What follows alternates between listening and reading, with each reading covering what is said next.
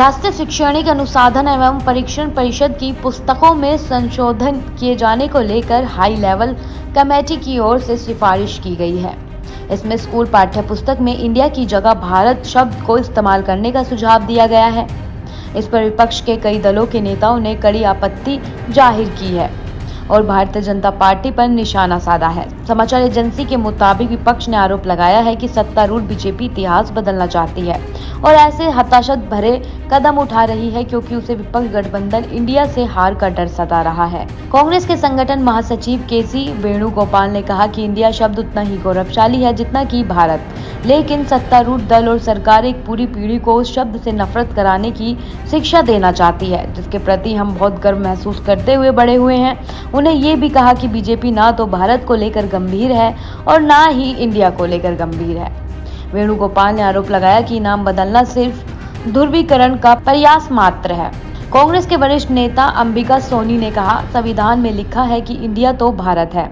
दोनों नाम एक है, राष्ट्रीय जनता दल के सांसद मनोज झा ने कहा कि इंडिया गठबंधन के गठन के बाद ये बीजेपी शासन की एक उम्दा प्रक्रिया रही है। उन्होंने दावा किया, अगर इंडिया गठबंधन अपना नाम बदलकर भारत कर लेता है तो क्या वह देश का नाम बदलकर जम्बूदीप या कोई और नाम रखेंगे?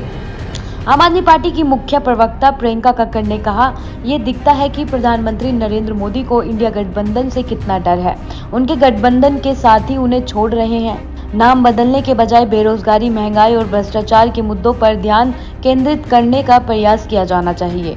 दरमुख के प्रवक्ता सरवनन अंदुराई ने कहा कि बीजेपी अपने कुशासन के लोगों का ध्यान भटकाने के लिए नाम बदलने की राजनीति कर रही है। कांग्रेस नेता और कर्नाटक के उप मुख्यमंत्री डी के शिव कुमार ने कहा कि एनसीआरटी समिति की सिफारिश गलत है और इस कदम के पीछे एनडीए का हाथ है। समाचार एजेंसी के मुताबिक शिवसेना नेता प्रियंका चतुर्वेदी ने कहा यह देश का दुर्भाग्य है कि इंडिया बेनाम भारत का मुद्दा बनाया जा रहा है।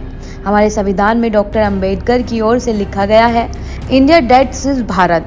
उन्होंने कहा कि आने वाली पीढ़ी आपको इस भेदभाव के लिए माफ़ नहीं करेगी। हमारे लिए इंडिया भी भारत और हिंदुस्तान है। ऐसी ही तमाम जानकारियों के लिए आप हमारे साथ जुड़े रहें और देखते रहें सहारा समय का डिजिटल प्लेटफॉर्म।